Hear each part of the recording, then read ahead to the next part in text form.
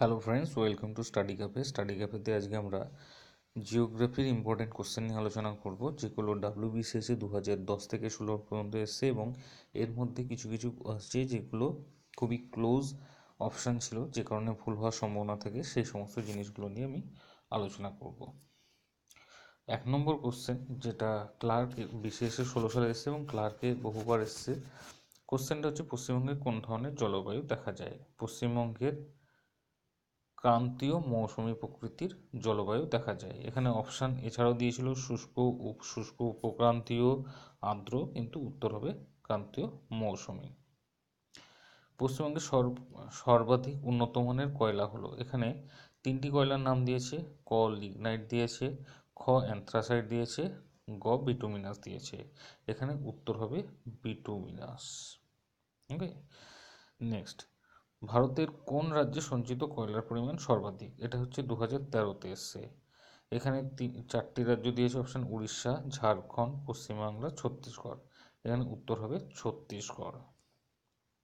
ভারতের কয়লা প্রধানত, এখানে চারটে অপশান দিয়েছে অ্যান্থ্রাসাইড বিটুমিনাস লিগনাইট পিট ভারতের কয়লা প্রধানত বিটুমিনাস তাহলে আমরা কি দেখলাম? পশ্চিমবঙ্গেরও উন্নত মানের কয়লা হচ্ছে বিটুমিনাস ভারতেরও কয়লা উন্নত মানের বিটুমিনাস ভারতের বায়লাঢিলা পর্বতশ্রেণী বিখ্যাত নিম্নোক্ত উৎপাদনের জন্য।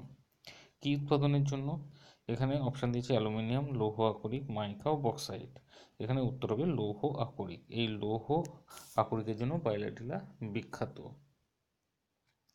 ভারতের স্থায়ী গবেষণা কেন্দ্র দক্ষিণ গঙ্গোত্রী কোথায় অবস্থিত? দক্ষিণ গঙ্গোত্রী সবসময় জানবেন আন্টার্কটিকায় অবস্থিত।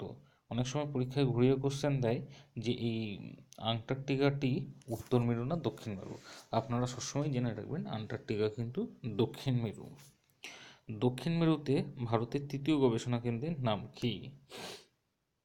এখানে চারটি অপশান দিয়েছে। এক হচ্ছে গঙ্গোত্রী, দুই দিয়েছে মৈত্রী, তিন দিয়েছে ভারতী, চার দিয়েছে অলকা। এর মধ্যে গঙ্গোত্রী হচ্ছে এক মৈত্রী হচ্ছে দুই, ভারতী হচ্ছে তিন। এখানে তৃতীয় গবেষণা কেন্দ্র ভারতী ওকে এবার আমরা ধরবো আট নম্বর কোশ্চেন তুতিকরিন নামক মৎস্যবন্দরটি কোন উপকূলে অবস্থিত? তুতিকরিন নামক মৎস্যবন্দরটি করমণ্ডল উপকূলে অবস্থিত। তাহলে তুতিকরিন কোথায় অবস্থিত? করমণ্ডল। ভারতের বৃহত্তম জাহাজ নির্মাণ সংস্থা হলো আচ্ছা এই কোশ্চেনটা দু হাজার চোদ্দ এবং ষোলো দুবার পরপর রিপিট হয়। এই কোশ্চেনটায় অপশান দিয়েছে garden reach workshop Kolkata, Hindustan shipyard Visakhapatnam, Mazagaon dock, Mumbai, Cochin, shipyard. এই কোশ্চেনটায় ম্যাক্সিমাম জন ভুল করে ফেলে হিন্দুস্তান, শিপওয়ার্ড, বিশাখাপত্তনম বলে। এখানে উত্তর হচ্ছে কিন্তু কোচি, শিপওয়ার্ড, কোচিন, শিপওয়ার্ড, কোচি। কোচিতে অবস্থিত এটাই হচ্ছে ভারতের বৃহত্তম জাহাজ নির্মাণকারী সংস্থা। হিন্দুস্তান যেটা বলছে এখানে বিশাখাপত্তনম বিশাখাপত্তনম হচ্ছে ভারতের গভীরতম পোর্ট দশ নম্বর, ভারতের কোস্টাল রেগুলেশন জোন শনাক্ত করা হচ্ছে নিম্নোক্ত গুণকের ভিত্তিতে। কি কি? জোয়ারের উচ্চতা, সমুদ্রতলের অগ্নুৎপাত জলের গভীরতা, সমুদ্রের স্তর বৃদ্ধি। এর মধ্যে খুব ক্লোজ অপশান হচ্ছে তিনটে। জলের গভীরতার জন্য অনেকে ভাববেন হয়তো জাহাজ ভিতরে যেতে পারবে বলে সেই জন্যে সমুদ্রের স্তর বৃদ্ধির জন্যও ভাবতে পারেন আবার জোয়ারের উচ্চতার জন্য। কিন্তু কোস্টাল রেগুলেশন জোন মেনলি করা হয় জোয়ারের উচ্চতার জন্য। তাহলে কি জোয়ারের উচ্চতার ভিত্তিতে কোস্টাল রেগুলেশন জোন শনাক্ত করা হয়? দু হাজার দশে এসেছিল কোশ্চেনটা তামিলনাড়ু রাজ্যে একাধিক বন্দর থাকার কারণ কী? তামিলনাড়ু রাজ্যে এখানে কী কী দিয়েছে অপশান এ রাজ্যে দীর্ঘতম সমুদ্র তট, জলের গভীরতা, তীরে কিছু উপসাগর আর তীর রকি নয়। চারটে অপশান দিয়েছে। এবং এর মধ্যে আমরা দেখছি মোটামুটি তিনটে অপশান খুবই ক্লোজ ক, খ, ঘ, কিন্তু এর উত্তর হবে তীর রকি নয় বলে। তীর রকি নয় বলে এখানে জাহাজগুলো সুস্থিরভাবে দাঁড়াতে পারে। জাহাজে ক্ষতি হওয়ার কম সম্ভাবনা থাকে, সেই জন্য এখানে ম্যাক্সিমাম পোর্ট গড়ে উঠেছে। দামোদর নদীর উৎপত্তি কোথায়? এখানে অপশান দিয়েছে রাজমহল মালভূমি, খ দিয়েছে ছোটনাগপুর মালভূমি, গ দিয়েছে হিমালয়, ঘ দিয়েছে পূর্বঘাট। এখানে উত্তর হবে ছোটনাগপুর মালভূমি। ওকে জলপাইগুড়ি কোন নদীর তীরে অবস্থিত? আচ্ছা জলপাইগুড়ি কোন নদীর তীরে অবস্থিত? এরকম নদীর তীরে দেখবেন অনেক শহরেই দেয় তার মধ্যে জলপাইগুড়ি এটা যেটা করেছে, এটা খুব ক্লোজ দিয়েছে। যেমন তিনটে অপশানে তিস্তাটাকে দেখুন কমন রেখেছে।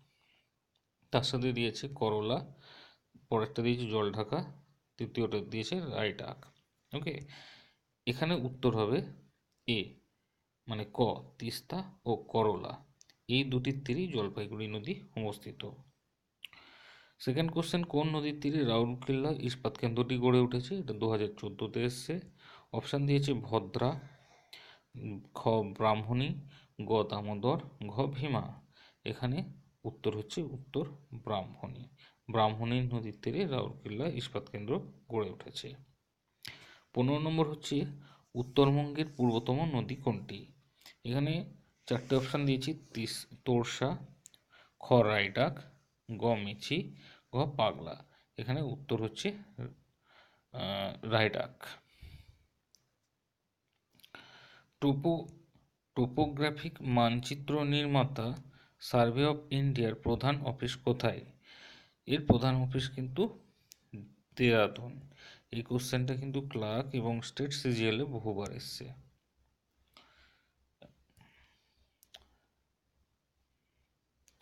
কোন নদীর তীরে, কোন নদীর তীরে, ও, ওটা তো গেল। সতেরো নম্বর সতেরো নম্বর কোশ্চেন দিয়েছে টপোগ্রাফিক্যাল ম্যাপ অফ ইন্ডিয়া কারা তৈরি করে?